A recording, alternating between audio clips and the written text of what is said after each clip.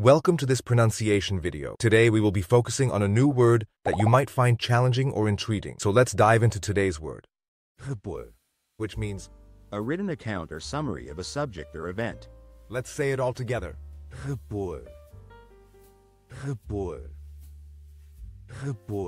One more time.